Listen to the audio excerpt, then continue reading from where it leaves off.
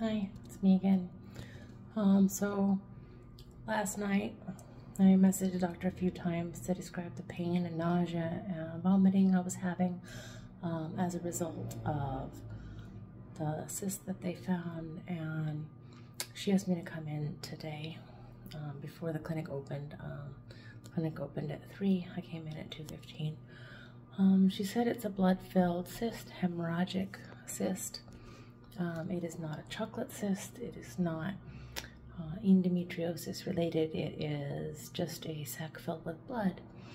She does consider that even though it doesn't show and she doesn't feel a whole bunch of loose blood in my abdomen, she does feel that um, it may be leaking very minuscule amounts of blood into my body outside the uterus that um, may be causing the symptoms.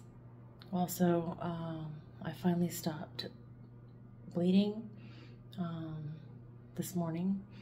So uh, it was 11 days, and she said most likely it was the cyst bleeding and um, sending my body weird signals about a strange ovulation that resulted in the long period. She said it's actually pretty normal.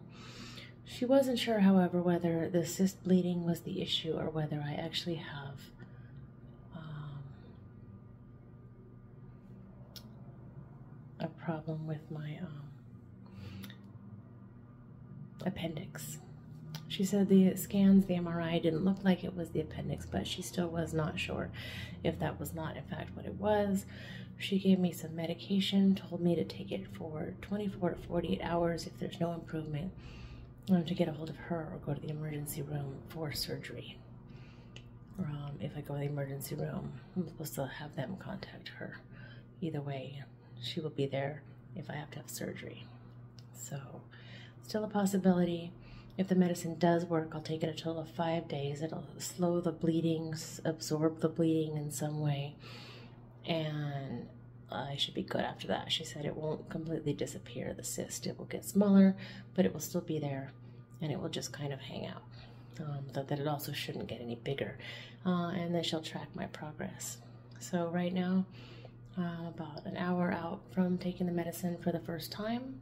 I'm supposed to take it every eight hours for 24 to 48 hours, and it should I should start to feel better right away if it's working. If it's not, surgery. I'm a little bit nervous about it not working. I'm hoping that it does. I feel terrible. Um, I can only eat little bits and then I throw up most of what I eat. Um, I thought about calling my bariatric surgeon who did my gastric bypass, but the response from her office has been terrible as far as uh, any bit of helpfulness over the years.